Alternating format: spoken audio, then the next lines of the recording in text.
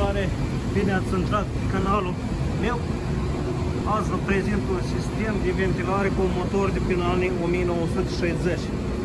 Un motor englezesc care e făcut deosebit, nu are rulmenți, pot nici nu are și e făcut așa sistemă că bushing-ul ăsta se rotește drept pe șaft. Înăuntru are maslă, ulei.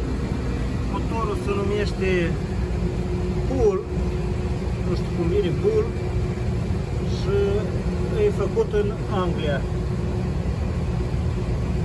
Are 1700 de rotații, 5 kW. Motor destul de special și destul de vechi și foarte masiv. Făcut cum se făceau înainte, de pe vremea războiului, cu mentalitatea de pe război, mult cer, să ție, nu se rupă niciodată. De atâta el a ținut până amuia, până în 2022 și nu s-a stricat. Și amuia el s-a stricat din cauza că aici lipsea ulei și nu se mai ungea aici unde se rota, unde se rotea, rotește. Dar nu ajungea ulei deoarece oamenii care trebuia să pui ulei, noi l-au pus până aici și a rămas fără ulei. Și aici s-a înșerpătat și s-a stricat aici, s-a stricat uh, șaftul. Dacă uitați-vă și roată pe scurele, aveți? Și păcătură interesantă. Acum, în timpurile de azi, nu se mai fac așa roți, dar asta chiar e complex, cu bolturi așa. E destul de interesant păcătura două curele și alimenta roata aceea, două prin două curele. Aici l-am scos, am curățit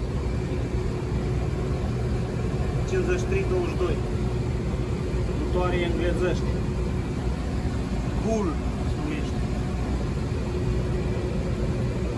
Felul ăsta se bagă așa acolo și se lași așa liber. Și el îmblă așa când se rotește motorul și ia cu dânsul masa și o zvârle aici și așa el se unge tot timpul.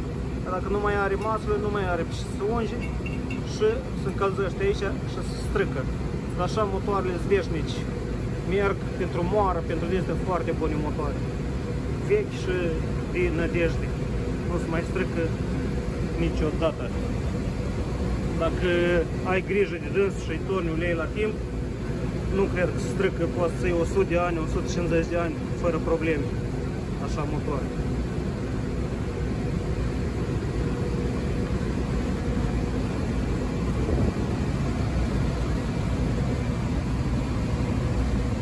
Dacă aici ai suportul ăsta, partea din spate, e făcut destul de interesant. Și aici avea jăitoarea sau elicea, cum se zice, de rășire, acolo înăuntru e prins cu un bolt. N-am văzut în tipul de azi la motoare așa prindere. Asta e parcă e avion grosime. Și asta e față de deieștul meu e câteva. Asta este bucșa care era pe ax. Vedeți ce înăuntru cum s-a mâncat un pic liniuța asta. S-a mâncat arosul șaftul axul arosul, deoarece nu era ulei între dânsele. Și am curățit-o, punem, vedeți și axul e un pic mâncat acolo, ars, s-a încălzit cât tare s-a rotit. Și aici este elicea care e prea masivă pentru așa ceva, pentru așa motor, dar așa era făcut înainte. Și asta e capacul lui, flanșă se numește. Ia că așa arată cu roata de curele pus, două curele mișcă o leacă așa. Ca trag mișcă în sferic. Aici e decontrolat nivelul la ulei, ca la mașină.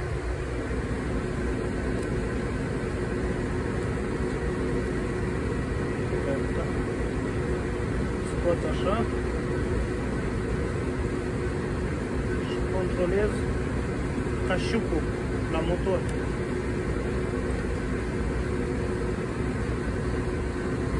uleiului, nivelul de ulei. Are și aici și în parte din spate. Așa ai făcut în două părți.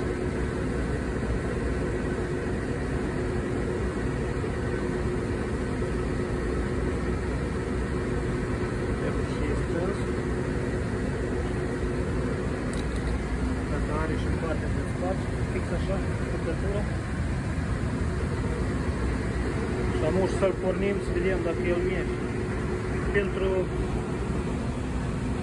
pentru nivelul de ulei, pentru nivelul de ulei are 6 toni.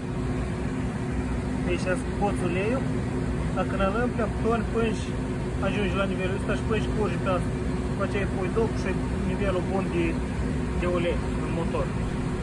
Am făcut uh, video ăsta, nu tăman pentru motorul ăsta, dar vreau să vă arăt că mult tehnologie de aici în Canada e adusă din Europa.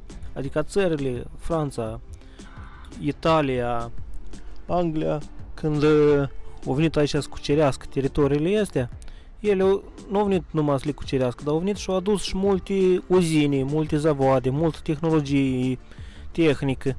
Și adică pe aici foarte, foarte des o să întâlniți uh, instrumente, uh, agregate, motoare, diferite mașini, mașinării, tehnici de lucru care sunt de prin Europa. De exemplu, am lucrat la uzină de mac- la fabrică de macaroane, erau foarte, toate erau italiene practic.